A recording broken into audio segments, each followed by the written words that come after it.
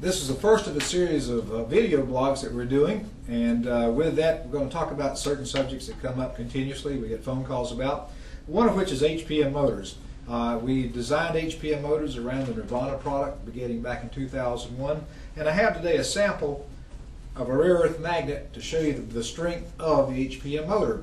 this is a neodymium uh, ferrous boron magnet. Uh, it has about uh, the magnetism of maybe 12,000 times that of a normal magnet this size. And one of the things you have to be careful about is getting too close to metal objects. And uh, with that, never get it too close to your cell phone either, because your cell phone suddenly reads in Arabic when you do that. Oh well.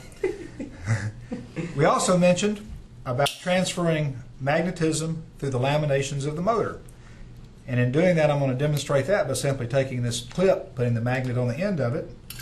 As you see, all the magnetism is transferred out this fine wire, and that's the way it works through the motor on the, on the rotor housing.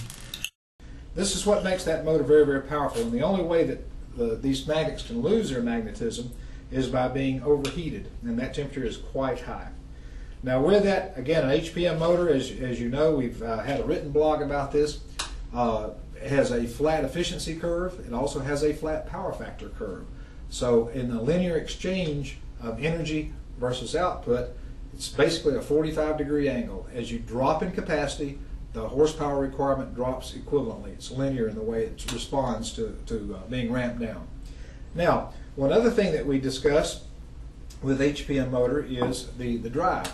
Uh, again, HPM motors have to be driven by an inverter uh, uniquely by an inverter. They're not suitable for starting with a star delta, Y delta starter, full voltage, anything like that.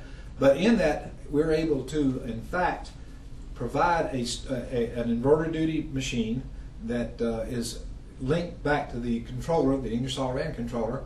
So therefore, you have this integration of controls and drive that is not surpassed by anybody else in the industry. Uh, with that, we have the ability to ramp at different pressures, uh, and all that can be done with one machine. Uh, customer can change pressures literally uh, in a matter of seconds. Uh, and, and when changing pressures gets more capacity out of the machine because there's a logarithm built into the memory of the, the CPU unit that says when I'm running at this pressure I have more capacity available. So I'll bring up those points about about HPM. Quick question, Ed. Does anybody else have the same motors? The, the, the, uh, Atlas Copco has involved uh, a, a, a, permanent magnet motor in one of their centrifugals now.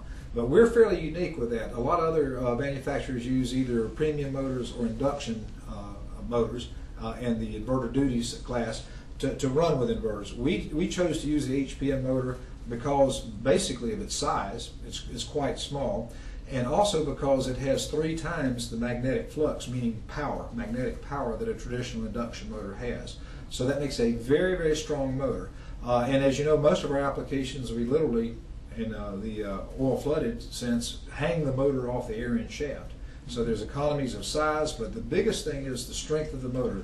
As I mentioned earlier, if you were to trace the efficiency and the whole range of the motor, its curve is basically flat. The power factor is also basically flat. Okay. Uh, we, we don't outreach the motor. Uh, the reason that we shut the machine off at a particular point is a point that we'll talk about in a few minutes is the, uh, the blow-by between the rotors that okay. we talked about earlier. The motor itself can ramp down to, to a very, very slow RPM without any consequences at all. We Good. limit it because of application to our rotor set. So kind of like to save energy and, and but like you said, we can talk about that in a little bit. One other question, simple question. Mm -hmm. What does HPM mean? Hybrid for? permanent magnet. Thank you. Hybrid permanent magnet. And that is a trademark by Leroy Somer. But we don't own that trademark, they do.